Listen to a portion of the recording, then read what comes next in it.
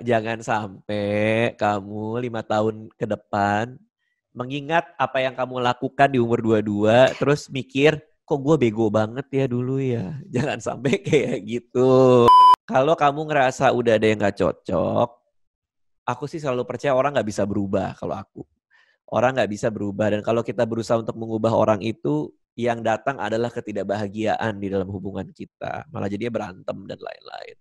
Jadi kalau masih bisa, ya dipikirin lagi, apakah gue mau selamanya dengan orang seperti itu.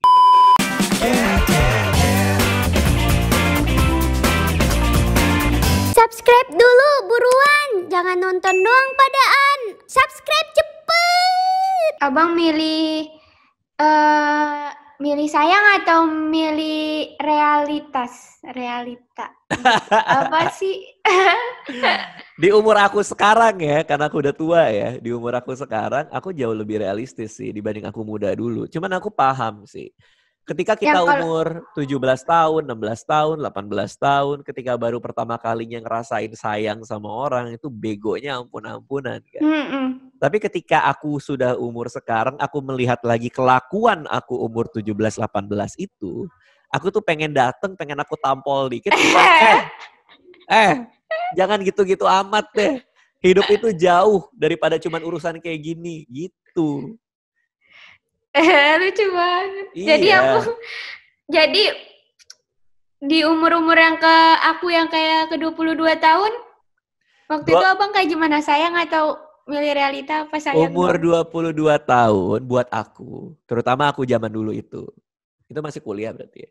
Adalah umur di mana kita uh, membuat kesalahan jadi kita nyobain dan kita salah, kita nyobain, kita salah kayak gini sekarang misalnya udah tahu nggak cocok dipaksain, dicobain aja dan kita tahu kita salah.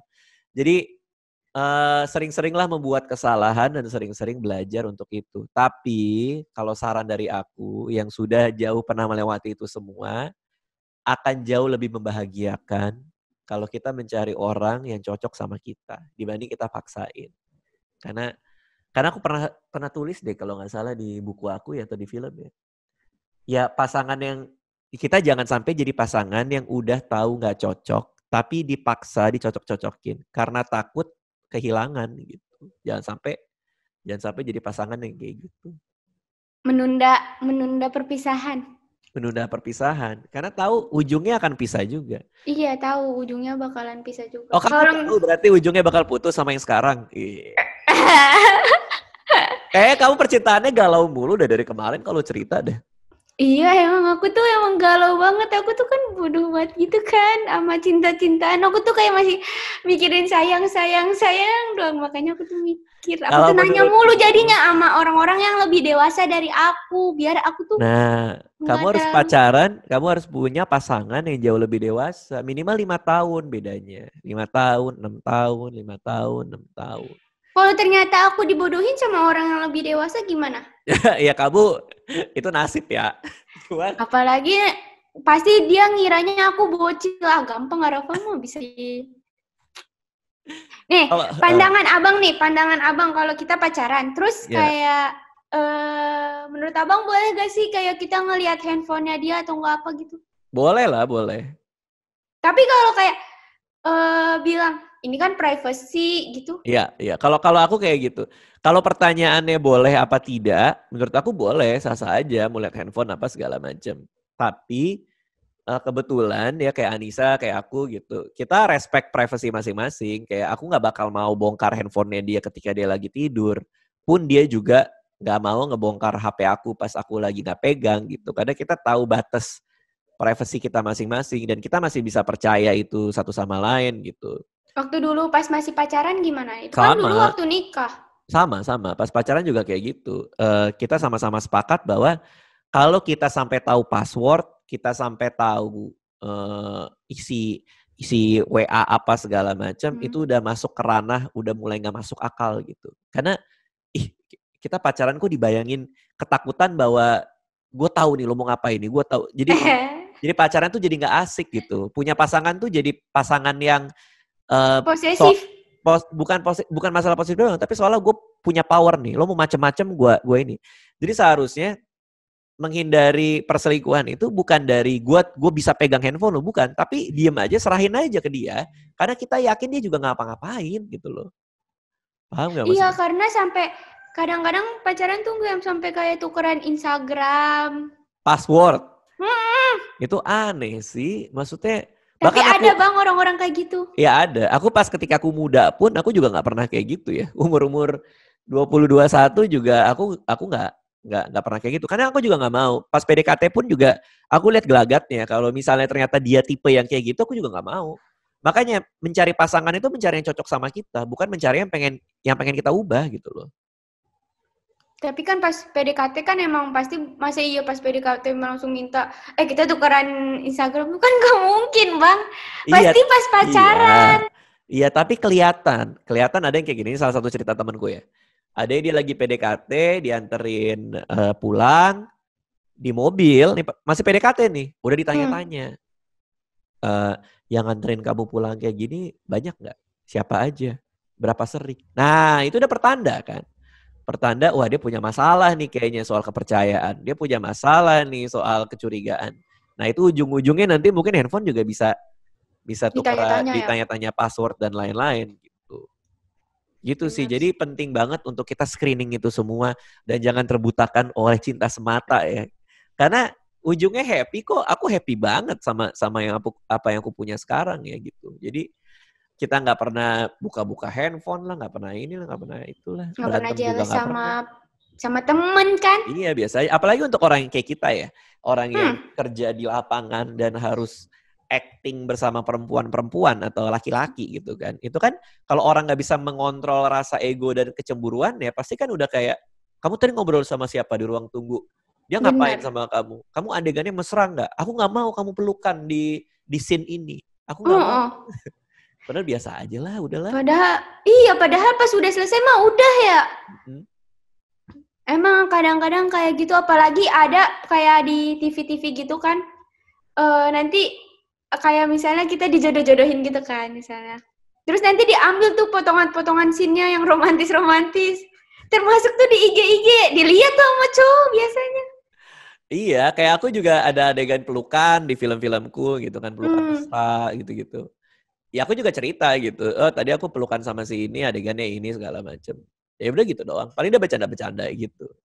Itu aja dipeluk, aku kok jarang dipeluk gitu misalnya. Atau apa biasa aja gitu santai aja tapi untungnya dia posisinya sama cewek coba bisa abang meluk guling kok guling terus yang dipeluk aneh banget orang itu masih wajar bang ya? berarti bang iya iya, iya. cuman tapi nggak nggak ngelarang dan nggak apa dan nggak nggak akhirnya bilang bahwa kamu nggak boleh gitu lagi aku merasa tersakiti aku segala macam ya itu kan apa ya itu kan pekerjaan kita bagian dari pekerjaan iya. biasa aja sih makanya Fa menurutku ya kalau kamu ngerasa udah ada yang gak cocok, aku sih selalu percaya orang gak bisa berubah kalau aku. Orang gak bisa berubah dan kalau kita berusaha untuk mengubah orang itu, yang datang adalah ketidakbahagiaan di dalam hubungan kita. Malah jadinya berantem dan lain-lain. Jadi kalau masih bisa, ya dipikirin lagi, apakah gue mau selamanya dengan orang seperti itu gitu. Eh, gue bikin lo putus lagi nih kayak lu di cerita cintaku lagi jangan-jangan. Iya, Cuma ini buat kebaikan lah.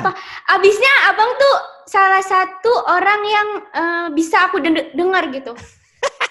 Jadi apa yang abang omong tuh kayak, oh iya juga ya. Masuk akal ya. Iya kayak masuk akal. Kayaknya benar apa yang dibilang gitu. Aku bisa Jadi tuh kamu masuk MLM dong berarti. Ya bisa sih emang tapi abang mau. enggak, enggak bercanda.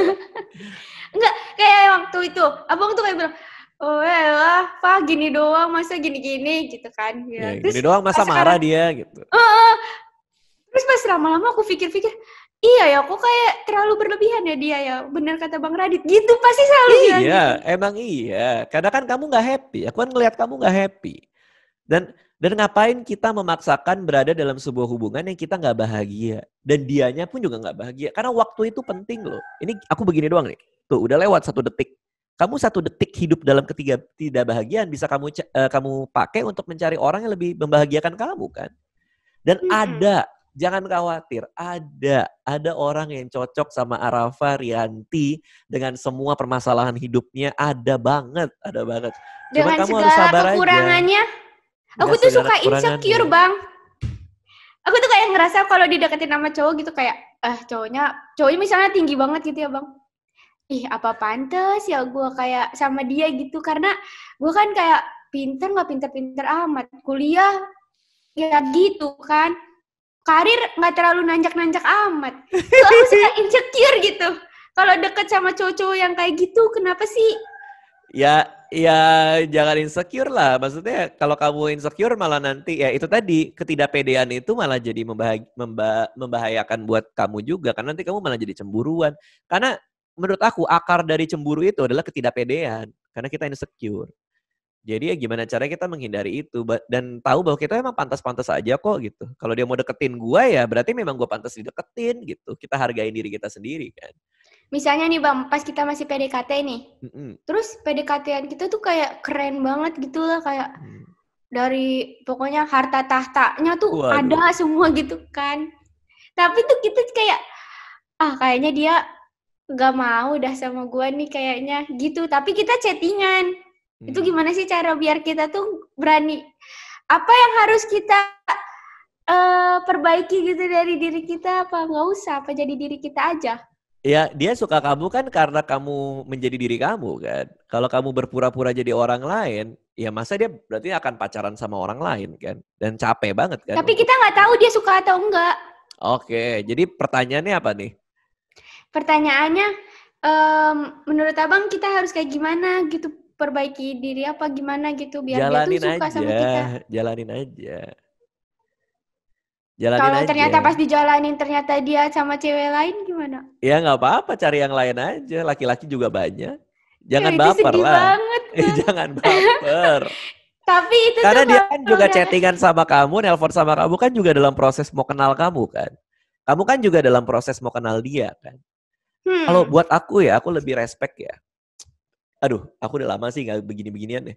Cuman kalau aku mengulang lagi masa PDKT dan lain-lain ini ya, aku akan jauh lebih respect daripada orang yang uh, aku aku jauh lebih respect sama orang yang kalau misalnya PDKT orangnya nanya gitu.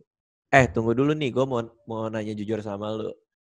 Gua ngerasa in lu udah udah ngobrol sama gue segala macam, lu punya intensi mau deketin gue, lu mau eh, intensi kita mau lebih deket dari sekedar ini. Gue nggak mau sakit hati nih. Jadi lu bisa jelasin nggak ke gue ini sebenarnya apa sih gitu. Nah, kalau kita ngomong kayak gitu, itu akan jauh. deg-degan pasti bang Pasti. Jadi bukan soal nembak, kan zaman dulu kan gitu ya. Hmm. Nah, kapan nembak, kapan enggak, enggak usah. Ngobrol aja komunikasi dua arah, nanya. Sebentar dulu nih, kita ini tujuannya apa? Gue nggak mau buang-buang waktu gitu. Karena ada temanku cewek kayak gitu, dan dia sudah menikah. Dia udah nikah. Dia bilang bahwa tunggu dulu nih, lo mau deketin gue kayak gimana nih? Karena gue nggak mau dimain-mainin doang. Uh, gue maunya serius. Lu kalau cuman kayak gini-gini doang, tapi akhirnya lu pergi sama yang lain karena ada yang lo nggak suka dari gue, ya gue mending mundur sekarang aja daripada gue sakit hati. Kalau tapi kalau lo serius, ayo kita serius gitu. Gue komit sama lo, lo komit sama gue. Mereka komit, mereka punya komitmen, mereka pacaran, dan akhirnya sudah menikah sampai sekarang. Jadi cowoknya nggak nggak deg-degan ditanya kayak gitu aku nggak kenal cowoknya sih kebetulan ya. Cuman uh, ya dia berani-berani aja buat ngomong kayak gitu. Dan udah lazim kok. Ini 2020 sih. Bukan masalah Tapi kayak kadang -kadang cewek nggak boleh ngomong duluan. Enggak sih. Berani aja gitu. Tapi kadang-kadang ah gitu kayak linglung cowoknya gimana? Kalau kayak gitu berarti emang udah nggak bener kan?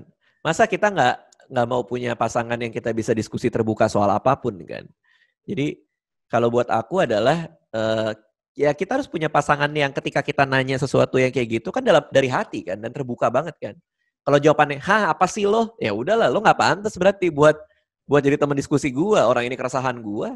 Masa gua ngomong kayak gitu, lo malah jadi kayak, "Hah, apaan sih?" gitu. Iya, eh, cari yang lain berarti lo nggak bener gitu. Terbebani dia. Iya. Ya masa masa nggak eh, enak banget di dia, dia bisa main-main tapi kita jadi jadi nebak-nebak sendiri. Kita nah jadi itu dia sendiri. biasanya cewek tuh kayak gitu bang. Kita tuh cuma nebak-nebak dia suka atau enggak, tapi kita enggak nggak berani ngomongnya karena kita takut. Ya sudah waktunya itu semua berubah. Sudah waktunya kamu menjadi perempuan yang tahu bahwa masa depan kamu ada di tangan kamu sendiri. Perasaan kamu ada di tangan kamu. Perasaan kamu bukan di tangan seorang laki-laki yang kita nggak tahu lagi chatting sama berapa perempuan lain di luar sana kan. Bener. Ini nasihat aku untuk anakku nanti. Anakku kan perempuan ya. Hmm. Eh Alea, jangan sampai lu dibohong-bohongin cowok ya gitu masa depan kamu di tangan kamu, perasaan kamu di tangan kamu, kamu bisa ngendalin itu semua. Alea enak banget ya kalau punya bapak kayak Bang Radit. Kok gitu sih?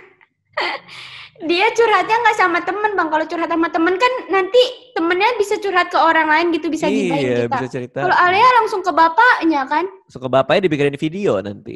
Iya benar, bikin buku palingan. Diceritain semuanya. Cuman ya itu, tapi memang perempuan itu Uh, itu sangat perasa sih dan dan dan dan makhluk verbal ya. Kalau dikasih kata-kata apa segala macam kan lebih lebih dalam gitu rasanya. Iya. Nah, karena tahu bahwa itu adalah apa ya dalam tanda kutip kelemahan lah ya. Eh, laki-laki kan kelemahannya visual kan. Dia kalau ngeliat yang cakep, ngeliat yang seksi lah, ngeliat yang memanjakan mata kan dia langsung seneng gitu. Nah, masing-masing dua jenis kelamin ini kan punya kelemahan masing-masing. Asal kita tahu aja bahwa ketika lagi digombalin, lagi di emeng-emengin, kita tahu bahwa ih tunggu dulu, gue nggak boleh nggak boleh terjebak terlalu jauh nih. Gue belum tahu nih dia maunya apa sih kampret nih gitu kan. Selama selama kita masih bisa mengontrol itu sih seharusnya aman-aman aja. Benar-benar. Bang, apa nasihat abang buat kita-kita di umur 22 tahun? Kita-kita. Terutama aku lah Terutama aku. Aku kan suka cerita sama abang tuh. Iya. Saran aku adalah ya jangan sampai kamu lima tahun ke depan mengingat apa yang kamu lakukan di umur dua-dua terus mikir kok gue bego banget ya dulu ya. Jangan sampai kayak gitu. Itu pertama. Kedua, cari yang lebih tua aja lima tahun, enam tahun. Kayak kamu cocoknya sama yang uh, lebih dewasa. Jadi udah udah selesai tuh urusan cemburu udah selesai, urusan ego udah selesai. Jadi lebih lebih ngayom, lebih lebih apa namanya? lebih mimpin, lebih bijaksana.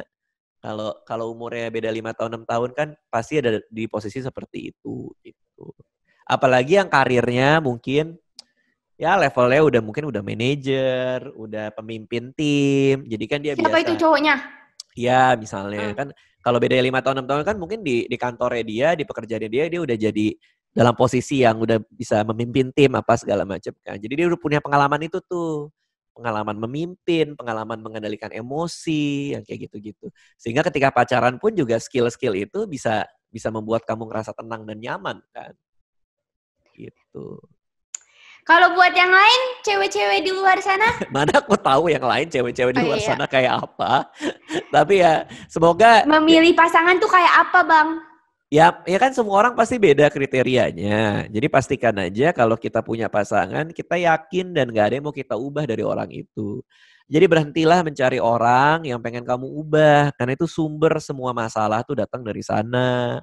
Dia tuh kayak gini, tapi kalau pacaran bisa lah gue bikin dia jadi kayak ini. Gitu. Segampang ngubah dandanan aja. Itu itu udah udah udah udah nggak benar menurut aku ya. Yang kamu dulu PDKT biasa aja, tiba-tiba begitu udah pacaran, ih kayaknya bajunya lebih bagus kalau pakai gaya ini deh. Kamu mulai besok pakai baju ini deh. Lipstiknya jangan terlalu merah itu. Iya, atau ini, ini. Udahlah, stop mencari orang yang pengen kita ubah. Carilah orang yang memang kita suka, kita seneng, kita nyaman. Pacarin, komitmen, baru nikah. Gitu, gampang-gampang aja. Hidup tuh gampang-gampang aja kok. Menurut abang gampang. Iya, iya, iya. Iya, iya. Menurut iya. kita kita yang ambiar mah susah banget. Ambiar, sobat ambiar.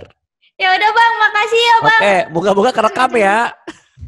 Iya kan abang backup. Ih Ya, keren backup. banget dah. Aku backup. Keren banget. Jadi kemarin gara-gara nggak kerekam, jadi bang Radit mau nge-backup.